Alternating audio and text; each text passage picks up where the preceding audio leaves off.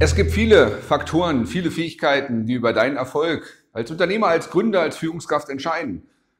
Aber das Wichtigste, nun, das scheint vielleicht das Glauben zu sein. Also was bei dir im Kopf vorgeht. Mein Name ist Daniel Schäfer und ich bin Geschäftsführer des X-Group Instituts für Gründung, Finanzierung, Geschäftsentwicklung.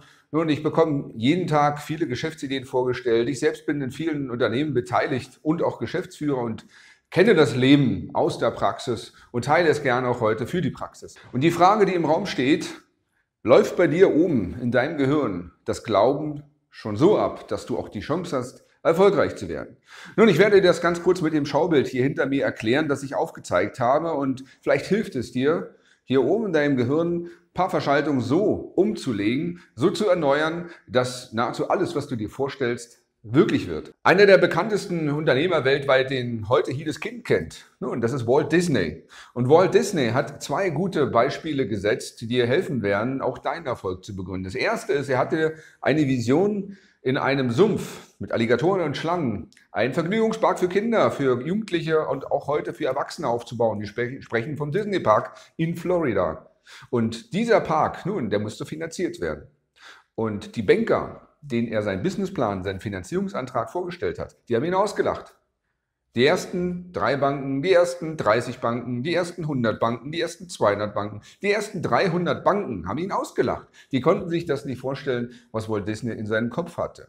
Schließlich die 305. Bank müsste es gewesen sein, die dann Walt Disney finanziert hat, die den gleichen Glauben auch hatte, den Walt Disney hatte. Und deshalb hat Walt Disney den Satz gesagt, alles, was du dir vorstellen kannst, nun, das kannst du auch machen, das kannst du tun.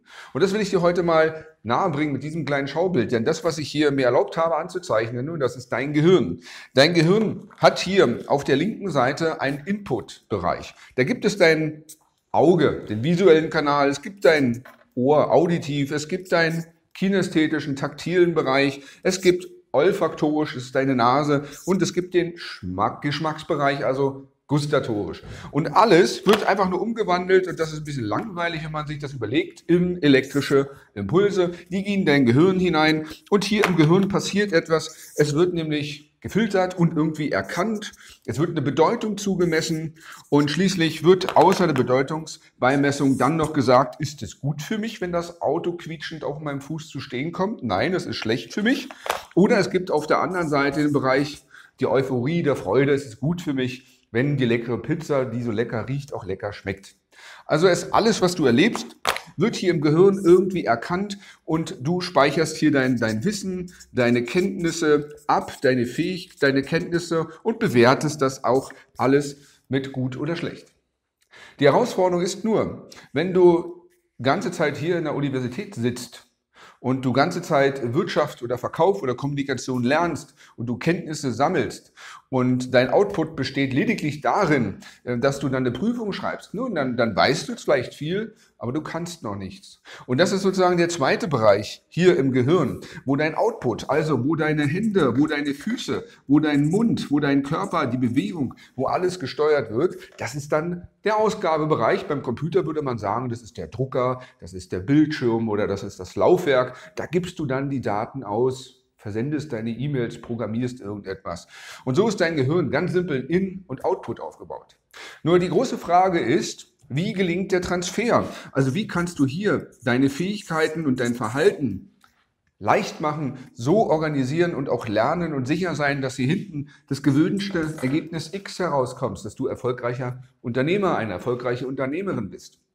Weil am Anfang ist das erstmal nicht vorhanden und du siehst es nicht. Du kannst nirgendwo hingehen und sagen, ich möchte gerne das werden, sondern es ist ein Reife, ein Formungsprozess, den du vorhast. Und hier möchte ich auf einen zentralen Punkt hinweisen, der hier in der Mitte stattfindet. Und zwar dieser Punkt hier, den ich mal grün und blau mache. Da dieser Wechsel von ich habe Input und Wechsel zu meinem Output, das findet in deinem Kopf statt. Und da hat Walt Disney gesagt, die Voraussetzung ist, dass du etwas machen kannst, ist, dass du dir es vorstellen kannst. Oder umgekehrt. Wenn du es hier oben vorstellen kannst, dann kannst du es auch machen.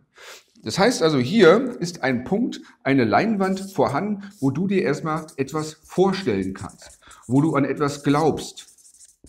wo du noch nicht weißt, dass es funktioniert, aber du glaubst, dass du es machen kannst. Und dann fängst du an, dir die Fähigkeiten zu erwerben, zu erlernen, zu trainieren, zu verkaufen, zu kommunizieren, einen Businessplan zu schreiben, Finanzierungsmittel zu machen, alles zu organisieren. Du kennst dich mit Rechten dann aus, mit Versicherung, alles drum und dran und fängst dann an, Schritt für Schritt das zu tun.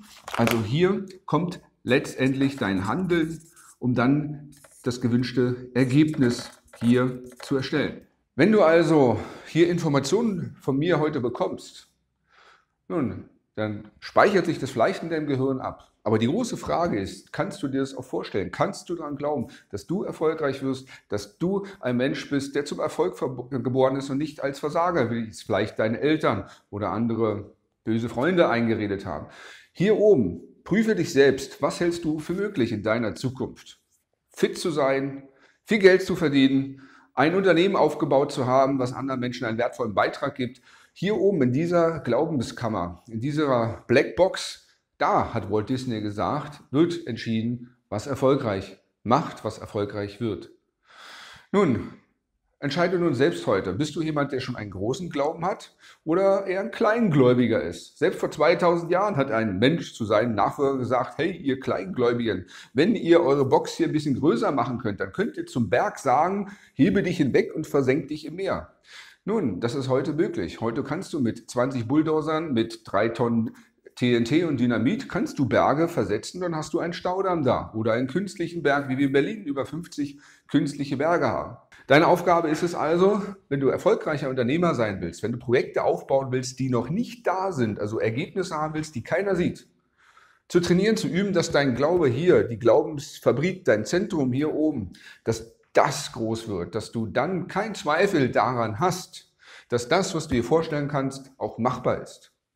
Wenn du da einen Haken dran machen kannst, nun, da mache ich auch gerne einen Haken dran, dass du sehr, sehr, sehr wahrscheinlich erfolgreich wirst. Es gibt letztendlich keine Sicherheit, das ist klar.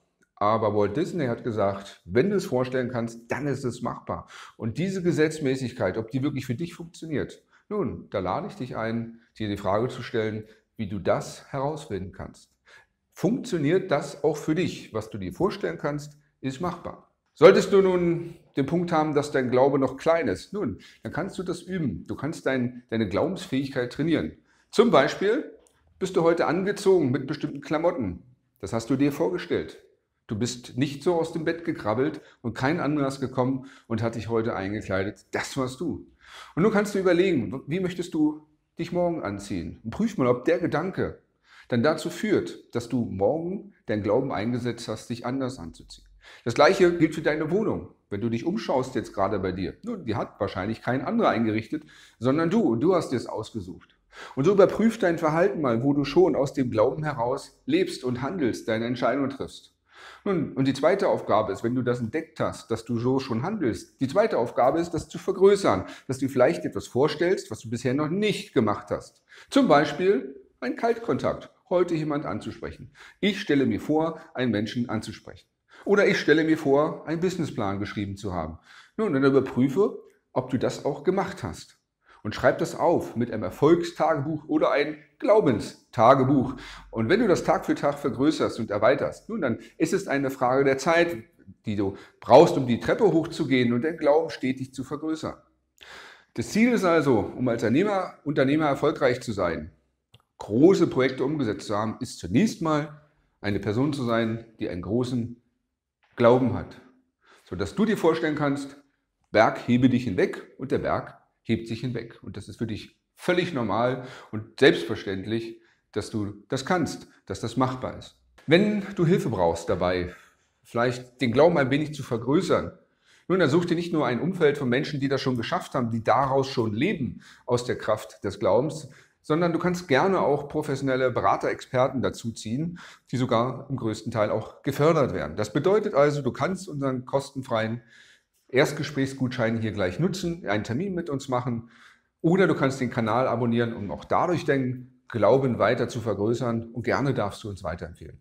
Ich wünsche dir viel Erfolg. Erstens, deine Glaubensfabrik zu vergrößern und zweitens, immer mehr durchzuschieben. Und wenn du das machst, denke bitte daran, nicht nur deinen beruflichen Erfolg hier durchzuschieben, sondern auch all die anderen Lebensbereiche, deine Beziehung, deine Gesundheit, deine Persönlichkeitsentwicklung, dein Selbstmanagement, dein Vermögen, deine Finanzen, deine Organisation und natürlich auch deine Hobbys, deine Reisen. Das, was dir so viel Spaß macht. Viel Erfolg, dein Daniel Schäfer. Vielen Dank, dass du dieses Video zu Ende geschaut hast. Gerne darfst du diesen Kanal abonnieren oder auch weiterempfehlen. Möchtest du gerne ein Erstgespräch haben, um deine Fragen zur Gründung, Finanzierung oder beruflichen Entwicklung zu klären, so findest du hier auf dieser Seite einen Gutschein. Mit diesem kannst du ein kostenfreies Erstgespräch vereinbaren, 45 Minuten an der Dauer, entweder in Berlin, in meiner Beratungspraxis oder auch gerne am Telefon. Bis zum nächsten Mal.